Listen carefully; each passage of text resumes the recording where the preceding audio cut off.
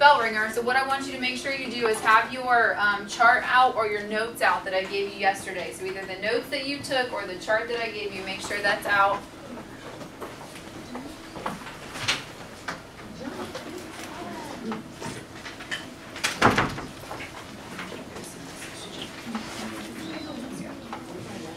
Okay, so guys, somewhere along that chart or on your notes, you should have written out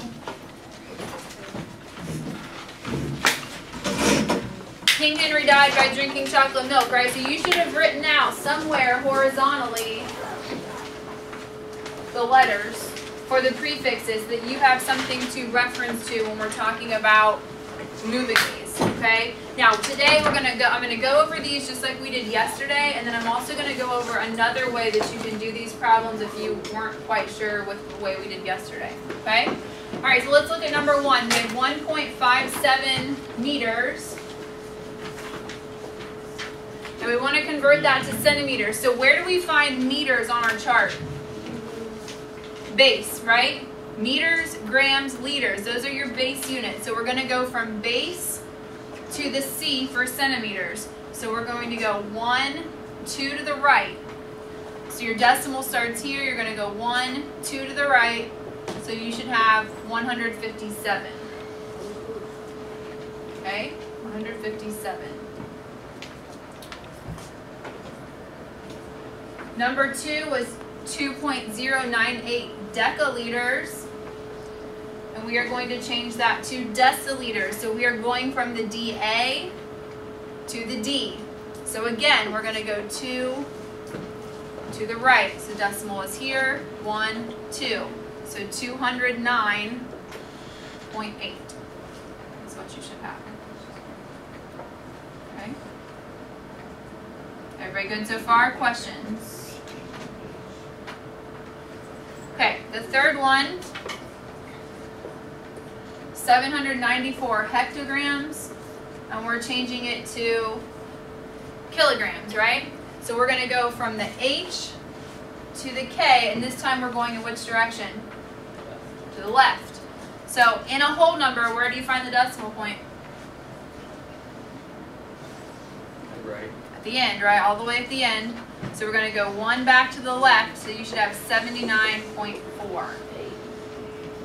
Okay, 79.4. So the decimal in a whole number is always at the end, and this time we had to go one back to the left. Any questions on that? Okay, so here's what I want you to put in your um, class discussion slash learning gap box. we are going to, I'm going to show you another way that you can do these problems, okay? What I want you to do is grab a calculator out of the box, or grab your own calculator, but grab a calculator out of the box.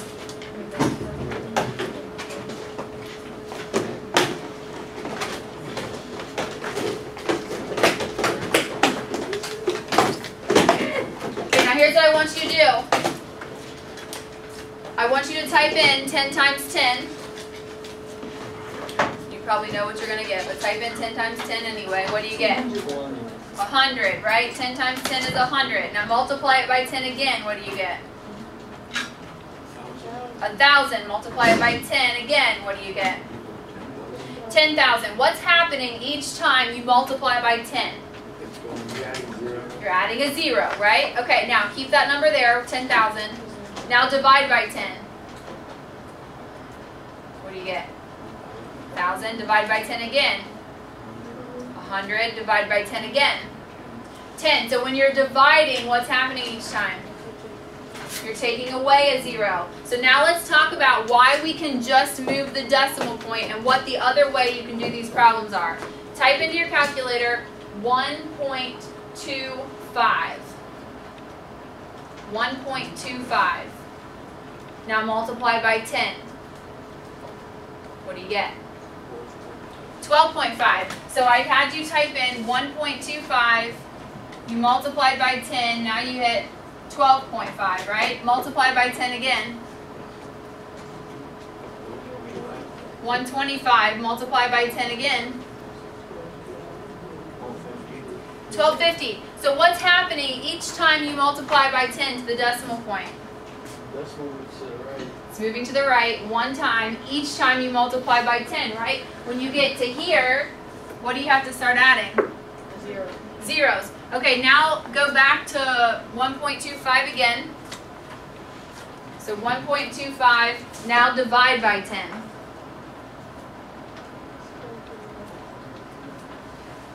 If you divide by 10, what's happening to the decimal point now?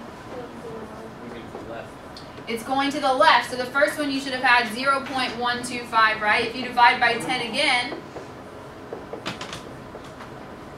it'll move to the left another time. You had to add a zero, right? And it would keep doing that. So guys, that's why we can move the decimal point when we do metric conversions because metric system is base 10.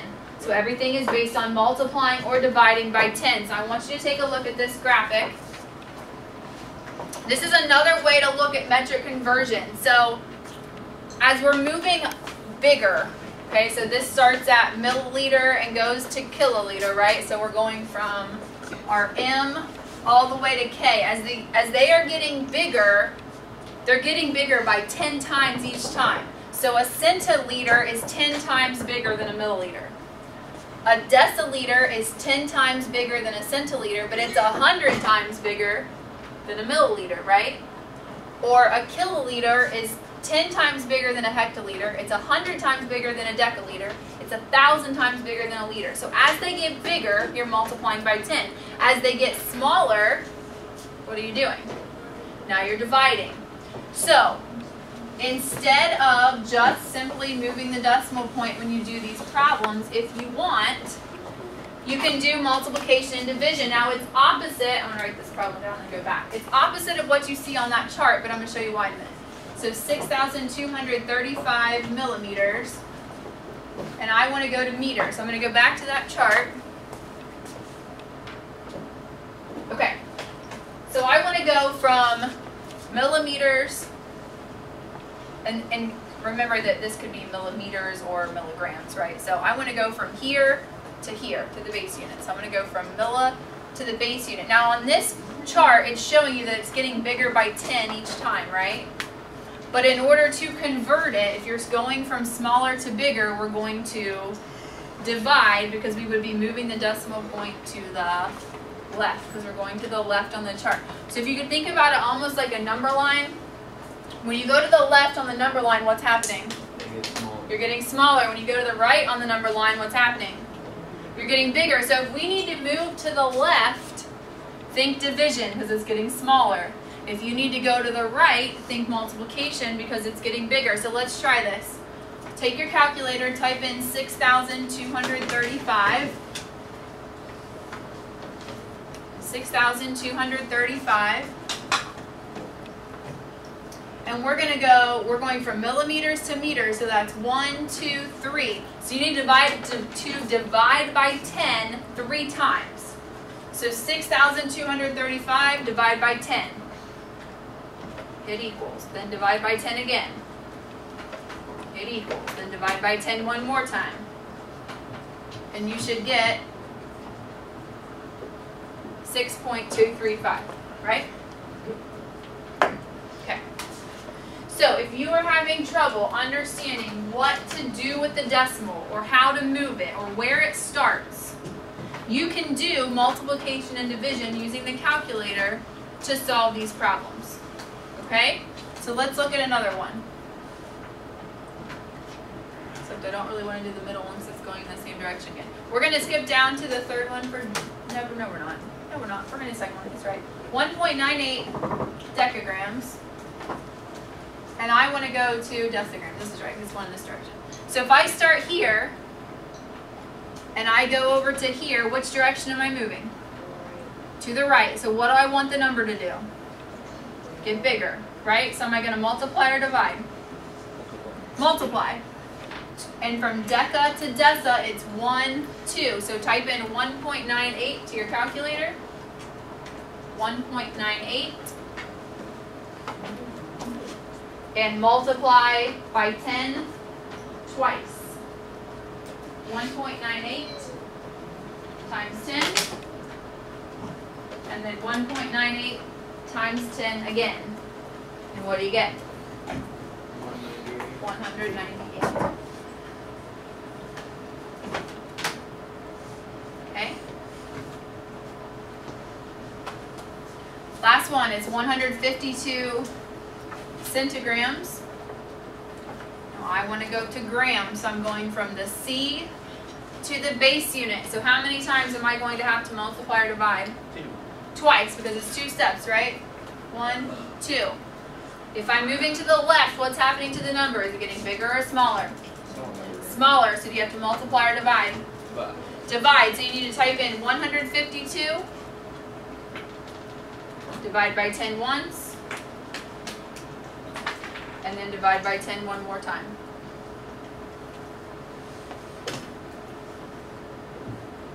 Point five two, right? Questions? Okay, so in the um, gap closing learning or let's see, learning gap class discussion box on your um, bell ringer doc, this is what I want you to write. If the unit, type this into your document please. If the unit is getting bigger,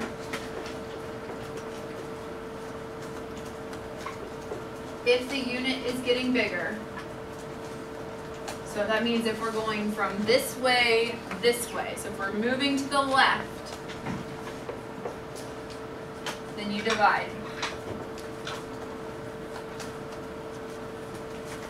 If the unit is getting smaller,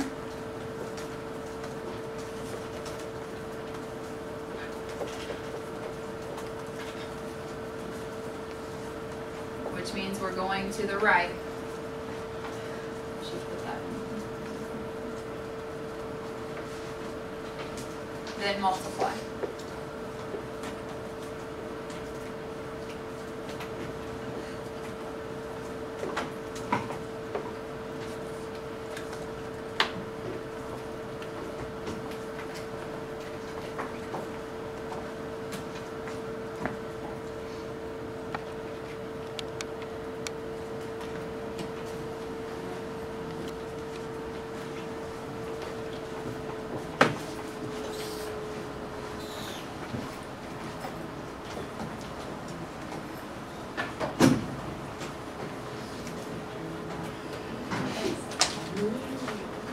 Okay, when you finish with that, if you would please get out your um, worksheet from yesterday, I want to go over the answers to column A for you.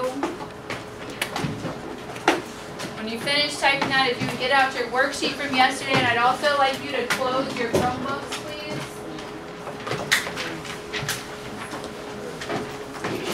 Close your Chromebooks, and then get out the worksheet from yesterday.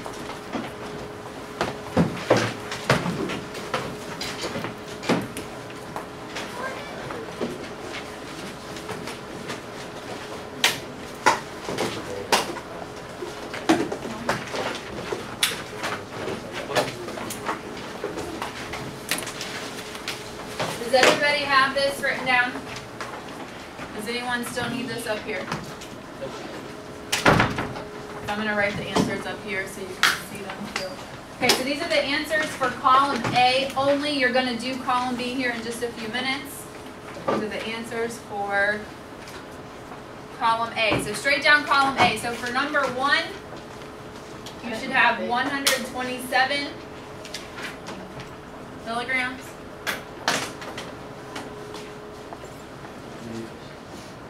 For number two, you should have zero point nine four eight five eight. hectograms.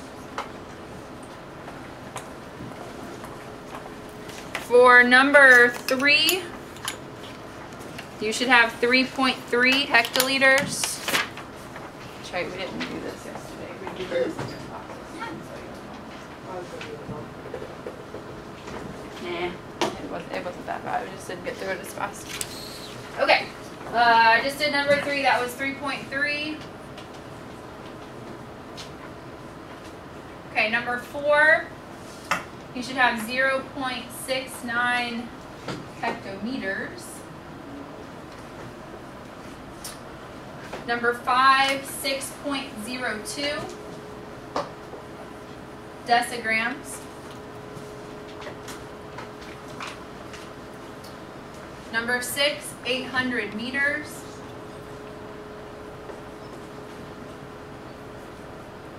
Number seven, thirty decimeters.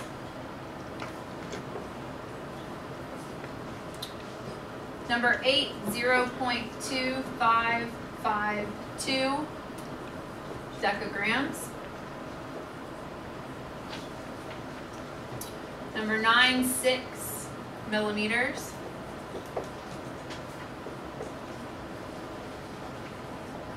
And number ten, fifteen hundred deciliters.